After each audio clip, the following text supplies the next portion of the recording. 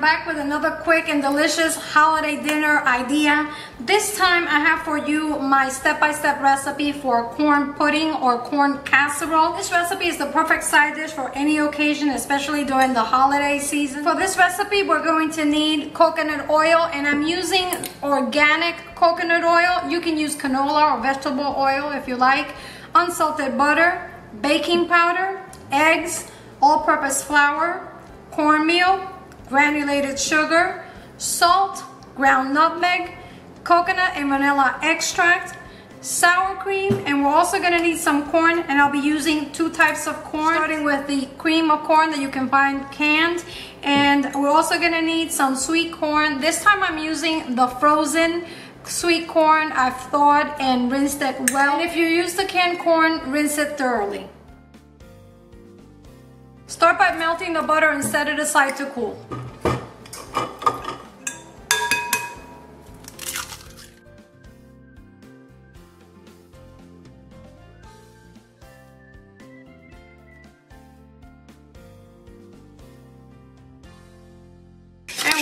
Lightly just to combine them until you don't see the yellow or the white anymore. That looks good. Add your vanilla extract.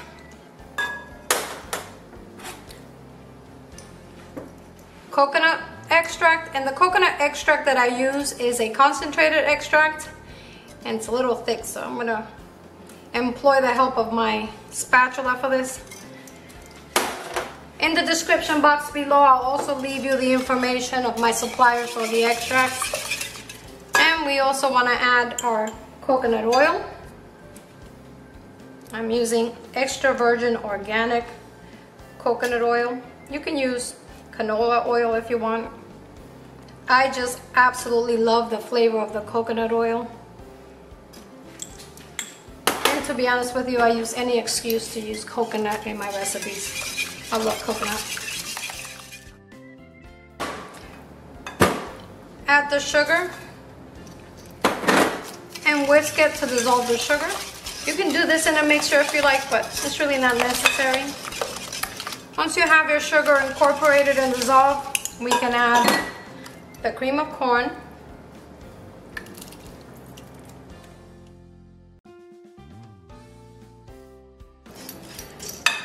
Can add the sour cream.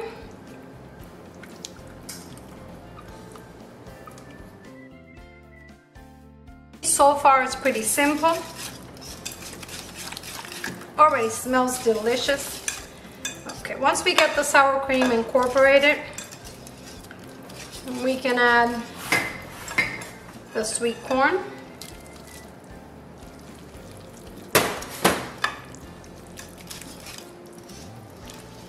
Set this aside and mix the dry ingredients. Starting with the flour,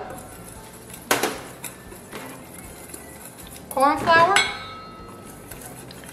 there's no need to sift the flour and the corn flour. As you can see, you can do that all in one bowl. The baking powder, salt, and nutmeg. Okay, looks good. Alrighty, let's bring this back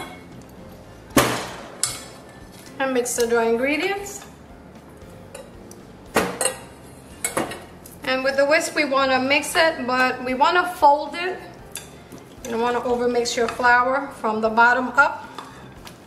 Just like that.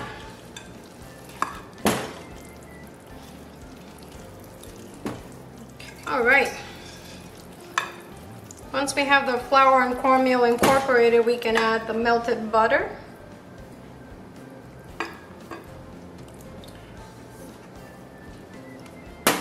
And remember, when you melt the butter, you want to make sure your butter is cooled. If you add hot butter to this mixture, you're going to begin cooking the eggs and that's going to ruin your corn pudding. And this is what the uh, consistency of the corn pudding looks like. It's fairly runny and that's perfectly normal because once we place it in the oven, it's all to come together perfectly. This is the basic recipe. You can take this mixture and turn it into whatever you like. You can have bacon, jalapenos, cheddar cheese, peppers, onions, cilantro. The truth is, is the sky is the limit. I'm actually gonna make this recipe twice today and at the end of this video, I'm gonna share images of what it looks like uh, using some of those ingredients that I mentioned. And I have here a couple of options for molds that you can use, starting with these individual mini cast iron pots and these little mini skillets which are perfect especially if you're having an intimate dinner with family and friends and you want to serve your casserole or your corn pudding individually. It looks very elegant and neat but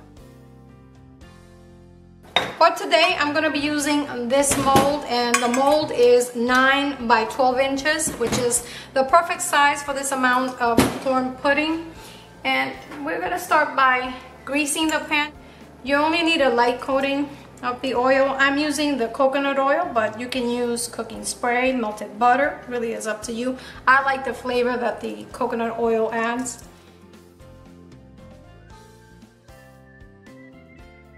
Because I like my corn pudding soft in the inside and crunchy on the top, I'm gonna sprinkle a little bit of raw cane sugar over the top, and this is organic raw cane sugar. And as the corn pudding bakes, all this sugar is gonna caramelize, a little bit like creme brulee.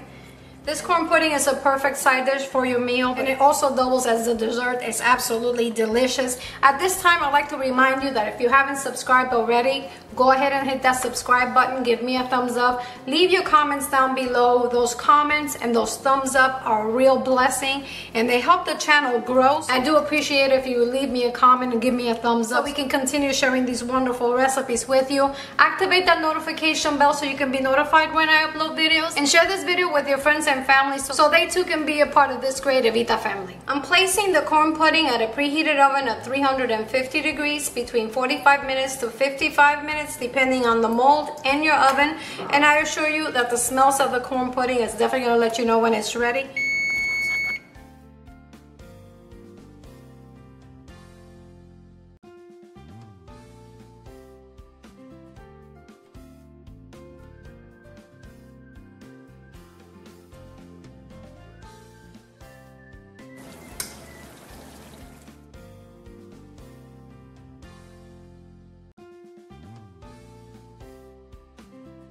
When the corn pudding comes out of the oven, you want to allow it to settle and sit for a little bit. Remember all that butter that was bubbling and sizzling over the top of the corn pudding?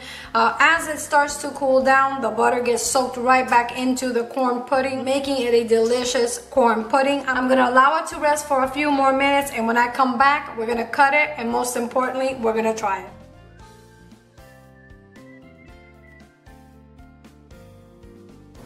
Friends, my favorite part is here and it's time to taste this delicious corn pudding. Look at how beautiful it turned out. Let's cut us a slice and try it.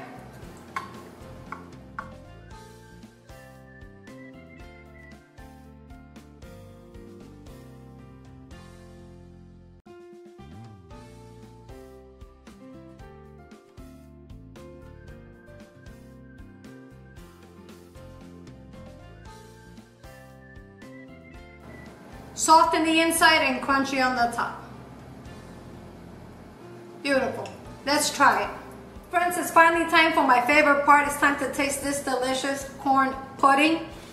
I really can't wait. It smells amazing. Check it out.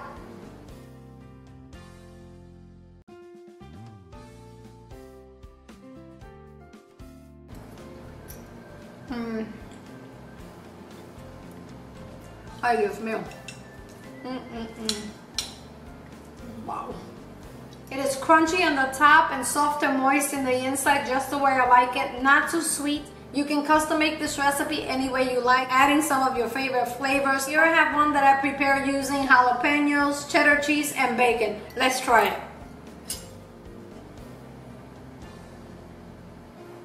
Mm. Ay, Dios mío. This is so good. Wow.